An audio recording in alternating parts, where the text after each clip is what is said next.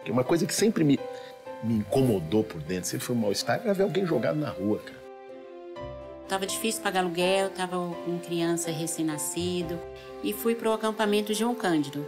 Foi onde que eu conheci o Bolos. Ele era bem magrinho, né? Gente, mas rapaz tão jovem, né? Aí o Guilherme me chamou e perguntou pra mim, por que, que a senhora tá aqui? Eu vou ser despejada, não tenho onde morar. Aí ele falou pra mim assim, calma tia, a senhora vai conseguir um cantinho pra senhora morar. O que eu aprendi nos últimos 20 anos no movimento social, morando na periferia de São Paulo, nenhum mandato parlamentar te dá. Aprender a ver as pessoas como gente, com história, com uma trajetória, com nome. A gente não aprendeu só a correr atrás de moradia. Aprendi com bolos me valorizar. De ser uma pessoa mais forte e poderosa, eu aprendi com ele. Hoje, eu estou na minha casa, graças a Deus, depois do Boulos, que foi ele que me ajudou. Às vezes eu nem acredito que isso aqui é meu. O que me orgulha que uma faxineira como a gente nunca ia chegar a ter um apartamento desse de 63 metros quadrados ganhando R$ 1.100, que é o que eu ganho na minha carteira. Eu sinto como se ele fosse da minha família, de coração. Elas não estão sozinhas? É por essas pessoas e é com essas pessoas que eu quero chegar.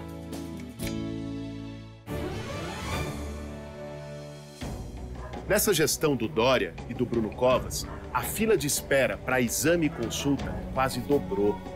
A pandemia só escancarou a dura realidade que a população enfrenta. Eles dizem que não tem dinheiro. O que eles não te contam é que a prefeitura tem 19 bilhões de reais em caixa parado. Eles receberam 1 bilhão e 300 milhões só para combater a Covid e só gastaram 85 milhões. Construíram quatro hospitais de campanha que já foram desmontados. Por que a prefeitura não investiu para reabrir os hospitais fechados que iam ficar para a cidade depois e ainda chamam isso de boa gestão? Quando a Luísa Erundina foi prefeita de São Paulo, com um orçamento muito menor, ela construiu seis hospitais, três prontos-socorros e 13 postos de saúde. Nós vamos reabrir os hospitais fechados ou que estão funcionando só parcialmente. Como esse aqui, o Menino Jesus em Hermelino Matarazzo. Olha o estado de abandono desse hospital. Sem falar no Sorocabana, na Lapa, que está só com um andar aberto. Ou da Brasilândia, novo, mas com a maioria dos leitos fechados. Nós vamos fazer as UBSs que foram prometidas, mas nunca saíram do papel.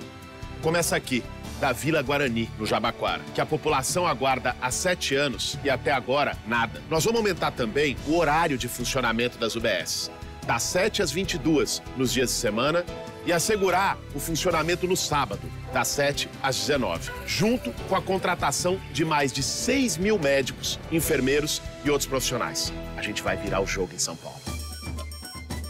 A honestidade e a coragem de Guilherme Boulos e Luiz Erundina estão tomando conta da cidade. Boulos esteve nas ruas de São Paulo para responder cara a cara as perguntas do povo. Eu quero fazer uma pergunta para ele.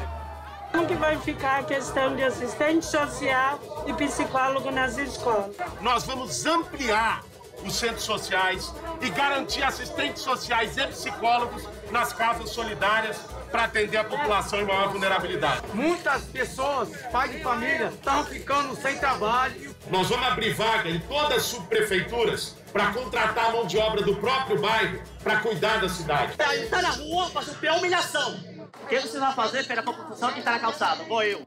Eu, há 20 anos, luto no movimento de moradia, junto com Sem Teto, para que as pessoas tenham casa digna. Isso para mim não é papo de eleição, isso é papo da minha vida. É o que eu acredito. Eu quero dizer para você o seguinte, meu irmão. No nosso governo, vai olhar para você e para muita gente que está hoje na rua como ser humano. O que nós vamos fazer é casas solidárias e vai ter também oportunidade para vocês entrarem nas frentes de trabalho para receber um salário digno e poder ter a sua casa. É para isso que nós vamos. A oportunidade que a gente tem no próximo domingo é de fazer a mudança nessa cidade. É comigo e com a Arundina, porque o voto na mudança é o nosso. É 50 no próximo domingo. Valeu, gente! Aperta 50 e vem. Guilherme Boulos Erundina.